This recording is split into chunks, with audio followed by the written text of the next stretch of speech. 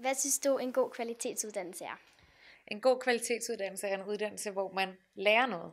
Og jeg tror, at man lærer noget, hvis man bliver inddraget i undervisningen, og hvis man har indflydelse på undervisningen. Men jeg synes, det er vigtigt at have det for øje, at en god kvalitetsuddannelse, det er en uddannelse, hvor man lærer noget, hvor man bliver klogere. Mener jo, at alle skal have den mulighed.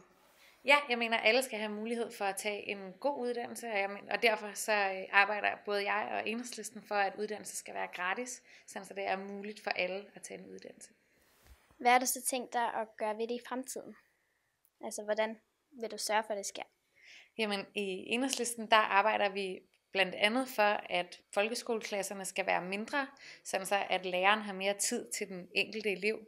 Vi arbejder også for at styrke demokratiet på uddannelserne, både i folkeskolen og på ungdomsuddannelserne, på de videregående uddannelser, sådan så at både dem, som arbejder på skolen, og dem, som går på skolen, har indflydelse på, øh, hvad der sker på skolen. Og det er simpelthen fordi, at det er jo dem, der er hverdagens eksperter, og derfor så bør de også have indflydelse på de ting, der foregår.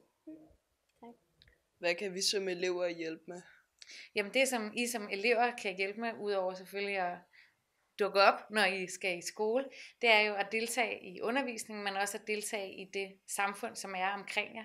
I enhedslisten, der tror vi på, at man bliver øh, dygtigere, både til, at gå i, altså både til de ting, man lærer i skolen, men også til demokrati, hvis man deltager aktivt. Vi tror ikke, man kan læse sig til demokrati. Vi tror, man skal lære det ved at gøre det.